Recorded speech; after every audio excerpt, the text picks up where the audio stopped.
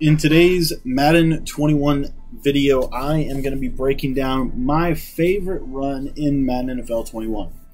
What's up, guys? My name is Cody, and I want to welcome you to my YouTube channel. If you've never been a part of my YouTube channel, uh, I want to encourage you right now to go ahead and click subscribe at the bottom right of the screen. There is a button that is, looks like a bell that will turn notifications on and I post four times a day here on YouTube tips, strategies, tactics, schemes um, that will help you improve in Madden NFL 21. And so if that's something that you're interested in, I would really appreciate you to go ahead and click that subscribe button.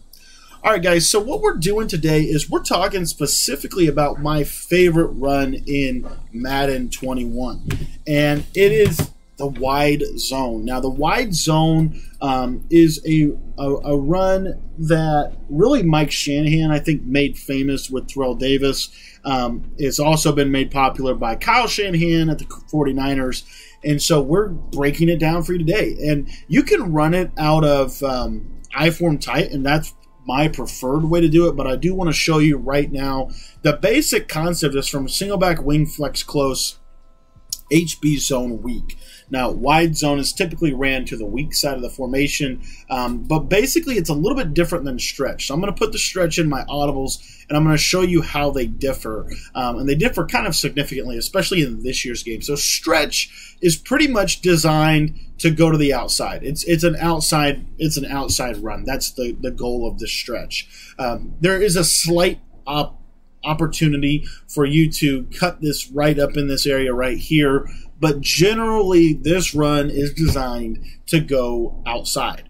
And defenses, at least in Madden 21, are going to be, you know, focused on trying to stop the stretch, right? That's what at least what I've seen um, happen so far this year. So, wide zone, though, is really more designed as an inside run than an outside run. So wide zone, you're really trying to um, take what the defense gives you, basically. And so you're going to take about three steps, three to four steps, and on that fifth step, you're going to make a decision: Are you going to go inside or are you going to go outside? As you see here, the blocking, in my opinion, this year is so much better on wide zone or zone weak than it is on the stretch. And I, you can playmaker this run to the right, and as you see here, you're going to get this double team. Now that double team right there in that spot shows the def- shows the for um, the real understanding of this of this of this run play. And I'm going to show this to you in instant replay um, in just a second. But when you run this zone run to the wide side of the field, you see you're going to get different types of blocking. The offensive line really, I believe, kind of takes what the defense gives you. And let me show you the mechanics of this running play. So um, you see here, at this point, I've got the ball. You see that this lineman is, they're going to block to leverage. You see you get a double team there on that nose guard. He's going to then work up to the linebacker. And my left tackle is going to take my guy and he's going to wheel him to the outside. This is my cue that I'm not going to bounce this to the outside. I'm going to cut this up. And then you see the wide receiver gets that kick kickback block, and I'm able to then get the ball up the uh, up the sideline. Now, about here, I'm taking one, two, about three steps, and then I've kind of made my decision about where I want to go. And you'll see this is very consistent. I can do this on the right side. Take about one to two, three steps, and you see I'm going to be able to go. Basically, this is going to really allow your uh, offense really to work to second level blocking as you can see here. Um, and this is a really, really good running play. You can actually um, cut this play all the way back across. You might have seen Terrell Davis do that from time to time here. But really, what you're uh, what you're trying to do with this running concept, in essence, is you're trying to set the blocks up so that you can either go outside or inside. You're wanting to glide with the blocks. Really, um, what I like to do with this, you know, and this this run doesn't really I mean, we're seeing it getting blown up a little bit here in the backfield, and that's why I'm about to go back into I form tight because the tight ends are what make the difference this year. If you have two tight ends, um, a tight end on either side is going to help significantly, and then a fullback is also going to help. You see there the safety is able to come through. So we're going to go to I formation. I'm going to show you how to do this out of I form tight. In literally this run, um, most people's run defense is designed to stop stretch or ISO, and that's why also I really like the wide zone. So I form tight, and the play is HB Blast. You're going to see this right here. We're going to take those couple gather steps here, and then we're going to make a cut. We're going to make a read.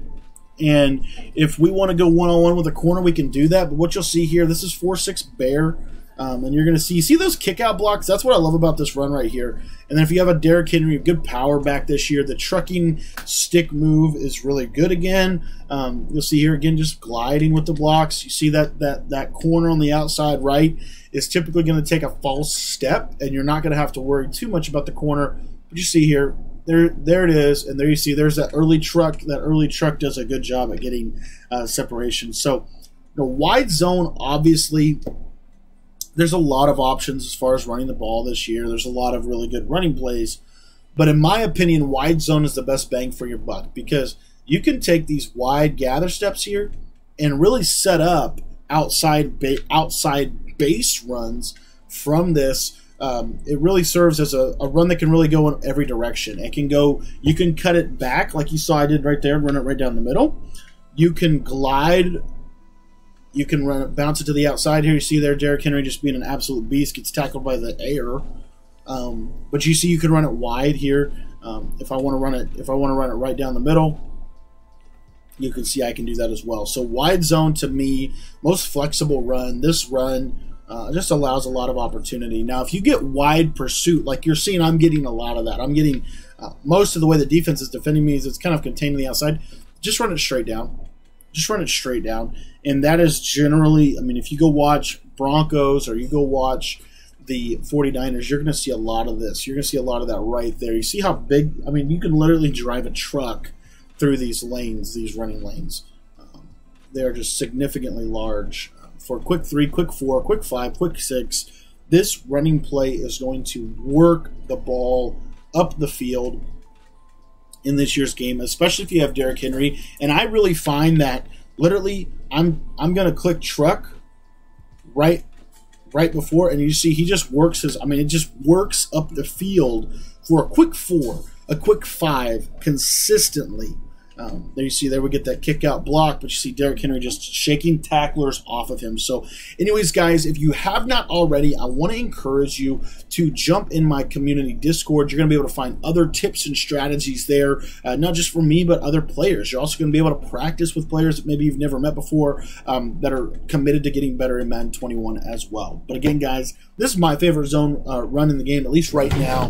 The wide zone is still very effective in this year's game. We broke it down a lot last year. I think I did a whole scheme on it last year. It's just as effective this year. So, anyways, guys, wide zone, jump in the Discord, and we will be live here in just a little bit on our YouTube channel. Uh, we'll be live talking Madden 21 football on YouTube. Um, so make sure you're subscribed and make sure that you turn those notifications on so that you can check out that video. Also, if you haven't already, there's going to be some videos that are going to pop up on your screen. Give those videos a check out as well. I'm sure they're going to be able to help you in Madden 21.